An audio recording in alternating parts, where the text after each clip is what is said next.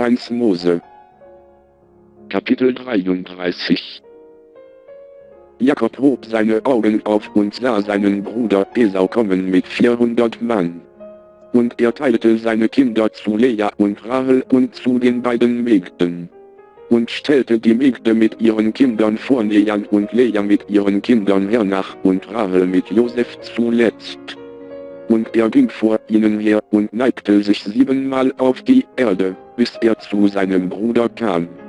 Esau aber lief ihm entgegen und herzte ihn und fiel ihm um den Hals und küsste ihn, und sie weinten.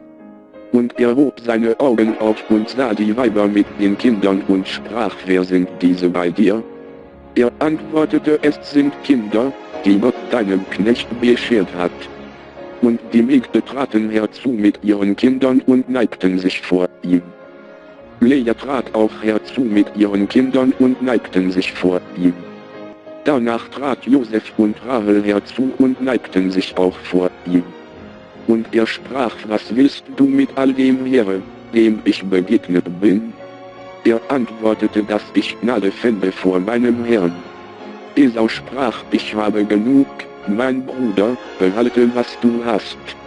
Jakob antwortete, ach, nicht.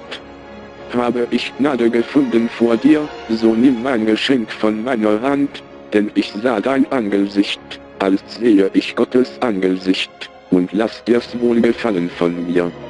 Nimm doch den Segen von mir an, den ich dir zugebracht habe, denn Gott hat mir's beschert, und ich habe alles genug. Also nötigte er ihn, dass er's nahm. Und er sprach, lass uns vorziehen und reisen, ich will mit dir ziehen.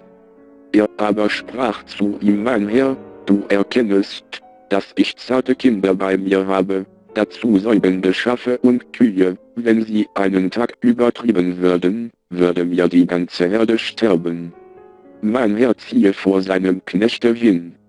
Ich will gemächlich hinternach treiben, nachdem das Vieh und die Kinder gehen können, bis dass ich komme zu meinem Herrn nach Seir. Esau sprach, so will ich doch etliche bei dir lassen vom Volk, das mit mir ist. Er antwortete, was ist's vonnöten?